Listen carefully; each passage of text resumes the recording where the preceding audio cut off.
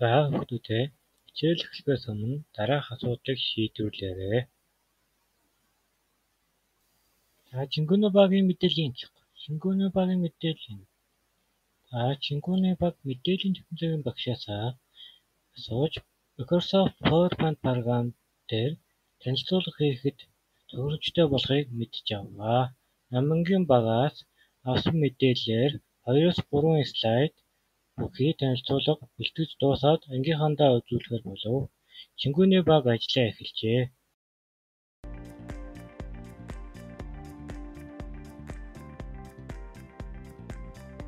За үүнийг хэрхэн хийх вэ? Бүгдээрээ хамтдаа хийцгээе.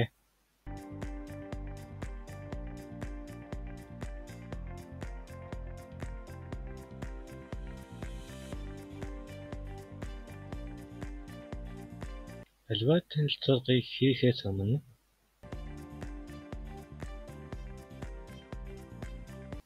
нэгдүгээр тавигдсан зорилгын дагуу мэдээлэл цуглуулах шаардлагатай. Хоёрдугаар цуглуулсан мэдээллээс хэрэгцээтэйгээ сонгон ямар хэлбэр хэлбэрээр илэрхийлэх зэргийг төлөвлөнө. Гуравдугаарт танилцуулгын агуулга бүтцийг төлөвлөж зураг хийнэ. За жишээ нь номингийн багийн танилцуулгын төлөвлөлтөөр зураг хийх болов гэж бодъё. Тэр мэдээж гарчигтай байна, товч танилцуулга байна, ангийн зорилго байна, ангийн уран байна гэх мэт төлөв бүтцийг гаргаж болох нэ.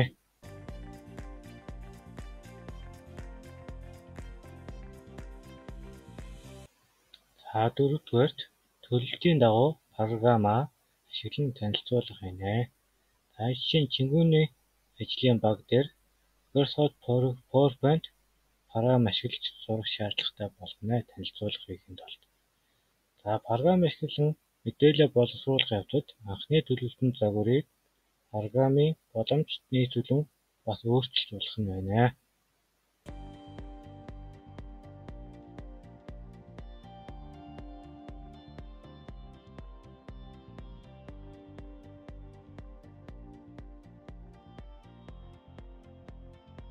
За хүүхдүүдэд танилцуулга боловсруулах PowerPoint програм дээр дараа татгалуудыг бүгдээрээ хийж үзцгээе.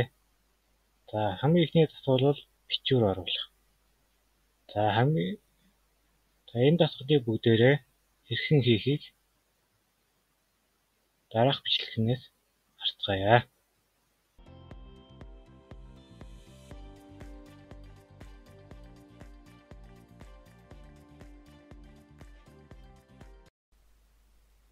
За хамгийн эхлээд за хамгийн эхлээд бүгдээрээ бичвэр оруулах татгалыг хийж үзье. Ихийн тулд танилцуулга боловсруулах програм буюу PowerPoint програмыг хийнэ. PowerPoint програмын нэгтээ Start цонх руу ороод програмын жагсаалтаас PowerPoint гэсэн програмыг болж нийнэ.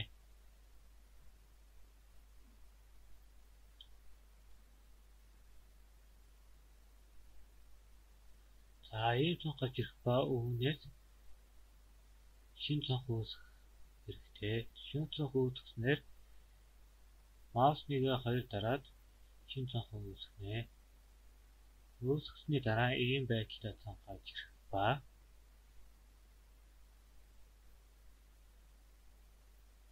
энэ энэ цонх нь болохоор шин цонх үүсгэх анхны чинь гарч ирнэ. Энэ дээр Үүн дээр маус нэгээ дараад PowerPoint-ийн үүсгэсэн загвар дээр текстийг оруулж болно. Жишээ нь мэдээллийн технологи гэж оруулъя.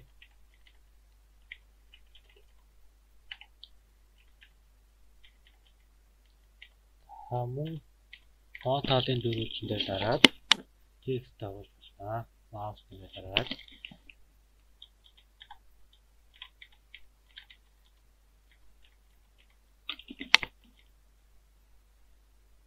За ийм байдалтай тексттэй оруулах юм байна. За энэ дөрвөлжингөөс гадна өөр хэсэгт текст оруул оруулахын тулд Assets-ний Word арт руу ороод мөн text box юм уу word art-ыг ашиглан текст оруулж болно. За word art-аас сонгоод текстээ сонгоод осноор иймэрхүү бичээр гарч ирэх ба энийг нэмэлт төрүүлжин дээр дарж зөөгөөд маусныг дараад гун аваад бичиж болно.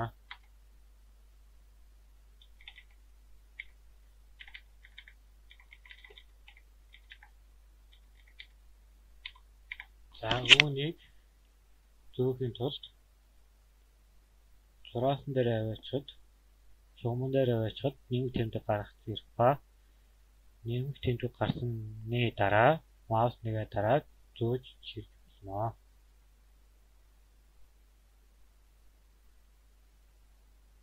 За. За дараагийн төсөл юм.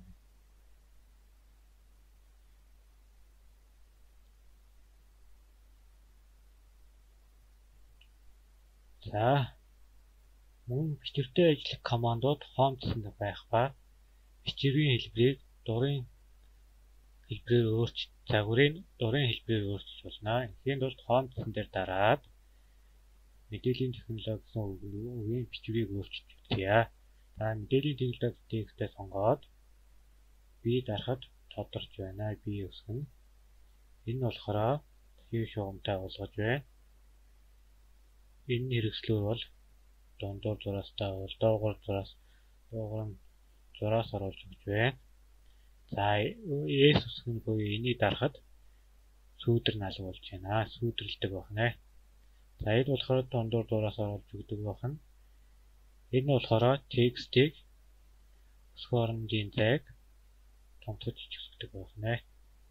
За энэ болохоор текстийг тохны өхний үсгийг томоор эхлэн дараачих нь бүгднийг жижигээр эхлэнэ. Энэ болохоор бүгдийн том өсгөөж солино.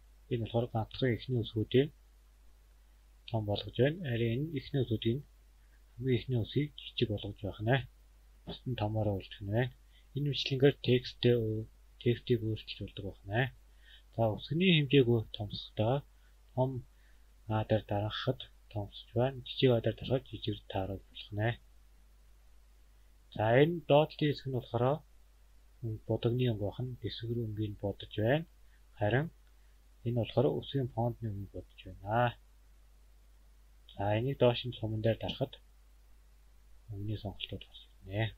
За энэ балруул дээр дарахад ах бэтэн хан хуучин юмдаа очдөг байх нэ. За нэгээ томсгоод дээр дарахад анхны хуучин стандарт хэмжээнд очиж бус даруулсан оруулсан эффект загварыг бүгднийг нь арилгаад анхны хэмжээ рүү очдог байна. За энэ хажуудлын хэрэгслүүд текстийг урд тал байрлуулах, гол байрлуулах, дахруу байрлуулах энэ болохоор текстийн тэгшилдэг байна. Нэг усан олон бичэн текстийг тэгшилж өгдөг байна. Иймэрхүү байдлаар бичигдсэн бол энийг тэгшилж өгнө. Энийг орвол урд тал руу шахна. Энэ болохоор дөрвөлжилж өгдөг байна хоёр талын. Яа. За энэ болохоор мөр хоорондын хэмжээг томсгож өгч байна. За энэ болохоор текстийг дээш нь доош нь баруун зүүн тийш эргүүлэх боломжтой байна. За энэ нь болохоор текстийг урд цэглэж өгдөг. Энэ текстийг чинь дээш нь байрлуулах уу, доош талд нь байрлуулах уу гэдгийг харуулж өгдөг байна. За жишээ нь одоо энэ нэг төрөө харъя. Ийм байлаа гэж бодъё. За нэг доод талын доош шилжих хэрэгтэй байна. За энэ жишээг үзэхэд тулд тэгээ шинэ слайд үзье. Шинэ слайдн дээр за шинэ инсертны текст боксыг оруулж ирээд текст бичиж үзье.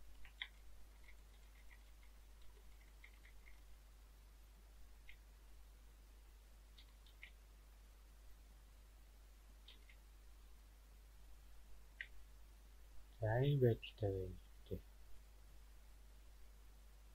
За энэ голлуулсан энэ текстийг дээд талд нь байлуулна. Нэг доод талд нь байлуулна. За энэ бичлэгээ тексттэй ажиллах маш олон хэрэгслүүд байдаг байна. Үүнийг видеонд судалж үзээрэй.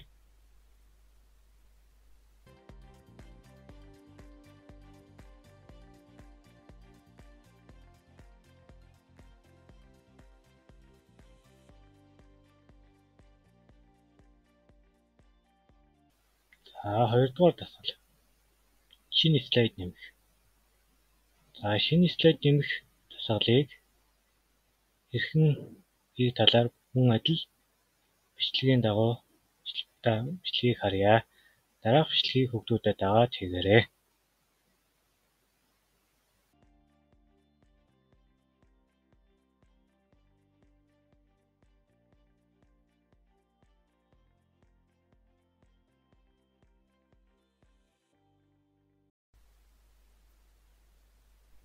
За бүгдээрээ за бүгдээрээ хоёрдугаар дасгалыг хийж үзье. За хоёрдугаар дасгал нь шинэ слайд нэмэх гэж байна. За шинэ слайд нэмэхийн тулд хамгийн эхлээд PowerPoint програмаа нэгээд шинэ цонх үүсгээд гарч ирсэн цонхноос nav slide гэсэн командыг сонгоод төвчлөрийг сонгоод эндээс гарч ирсэн цонхноос өөрийн дурын загварыг сонгоод маус нэгээд дарнаа. Дарснаар тухайн слайдын загвар шинэ слайд үүсэх болно. За үүссэн слайд нь 1 2 гэсэн дугаарч гарч ирэх ба 3 дахиад шинэ слайд нэмсэн тохиолдолд слайд 3 буюу энэ бичлэнгээр шинэ слайдаа нэмээд тасаар оруулж болох нэ.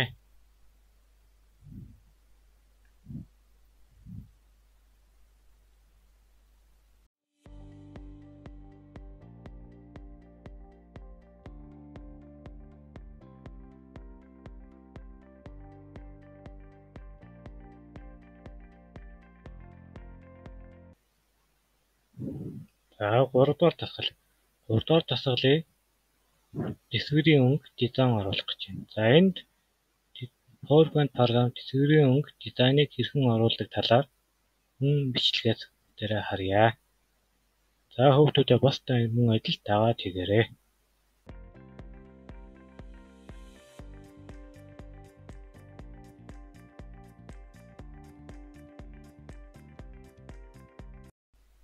За хүүхдүүдээ.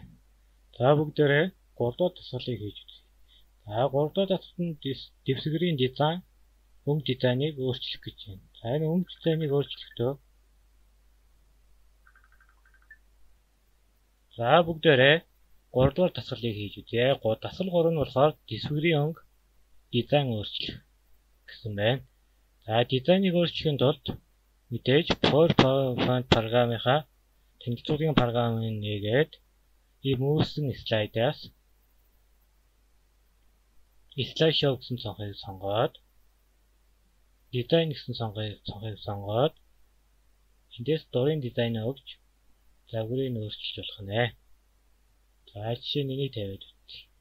Тэгээд энэ загвартай болж явах нэ. Энэ бичлэгээр дурын загвар дээр өөрийнхөө хүссэн загвараа өөрчлөлт оруулж болно.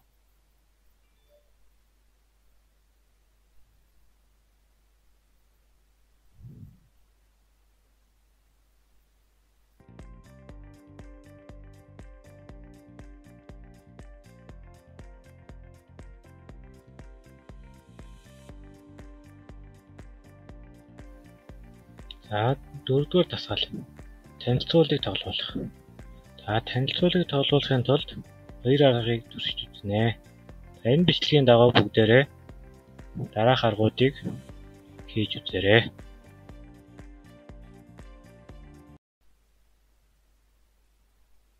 За дараагийн дасгал буюу танилцуулгыг тоглуулах гэсэн дасгалыг хийж үзье. За танилцуулгыг тоглоулахдаа танилцуулгыг тоглоулахдаа бэлтэн танилцуулгыг тоглоулахдаа дараах байдлаар тоглуулж болно. Бэлтэн танилцуулгыг тоглоулах хоёр арга байдаг ба хоёр аргыг үзье. Эхний арга нь бол дээд талд барилах энэ хэрэгслүүдээр дээрх хэрэгслээр дарангуут автоматар тоглож эхэлнэ.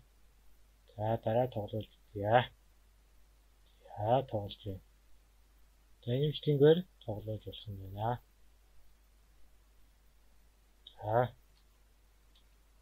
тоглуулахдаа галнаас дурын төвчтэй харан тоглож болно. За хоёр дахь арга нь болохоор доод тал барьлах энэ хэрэгслүүдээр хэрэглээр тоглож болох нэ. За.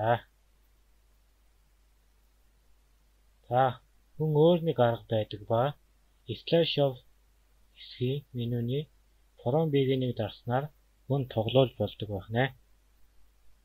За, ийм гурван арга байдаг байх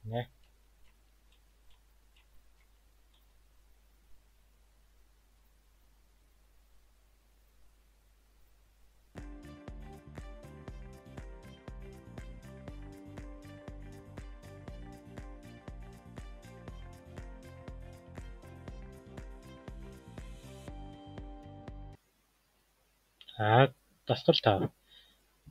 5 дугаар дасгал нь болохоор дэлгэрт буюу слайдыг солигдох хөдөлгөөн оруулах гэж байна. За энэ дасгалыг мөн адил хүүхдүүдэд дараах бичлэгийн дагуу дагаад хийж үзээрэй.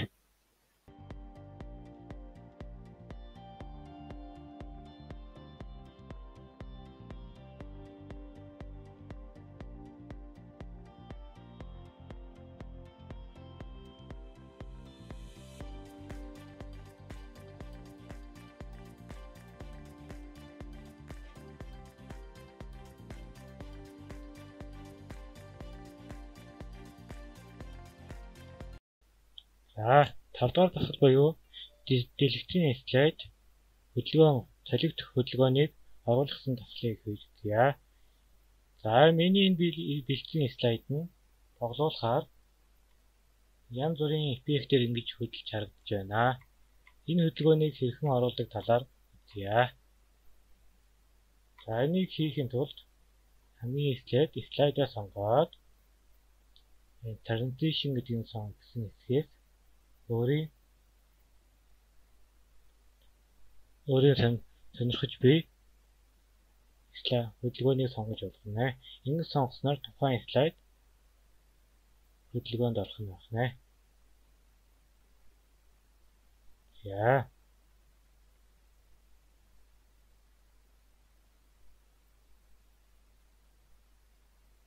За энэ мэтлэгээр бүх слайдаа сонгоод үзэхэд слайдын хөдөлгөөн оруулах нь байна.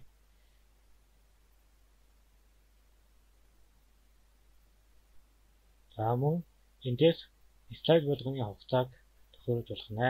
Тухайн слайдын хөдөлгөөн хэдэн минутанд хэдэн секундэд хөдлөх гэдгийг тооцож болох нэ. Энэ хугацааг тааруулахын тулд хэдүүллийн duration хэсгээс хугацааг нь тааруулж болох нэ.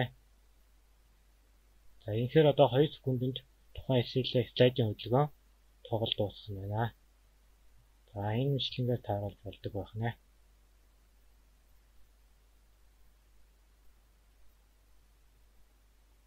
За бүгдээрээ эхнээс нь явуулж дийа.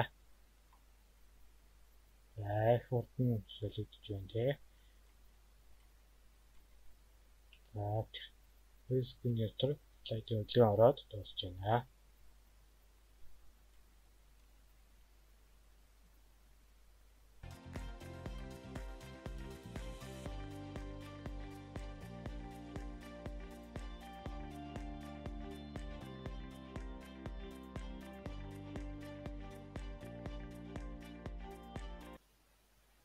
Танилцуулга бэлтгэх явцдаа дараах зүйлсийг анхаарах хэрэгтэй байдаг бахнэ. За нэг слайдад хэд их бичвэр оруулахгүй байх. Үсгийн хэмжээ хангалттай том байх. Хэд том эсвэл жижиг биш байх. Хэд олон үсгийн хэлбэр сонгохгүй байх. Олон өнгө ашиглахгүй байх. Тэсвэрийн болон бичвэрийн өнгө нь ялгаж харагддаг байх шаардлагатай байх нэ. За хүүхдүүдээ гэртээ миний хобби сэдвээр интернет болон бусад их усүрээс мэдээлэл цуглуулж 5-аас доош тооны слайдтай танилцуулга бэлдэж ирээрэй.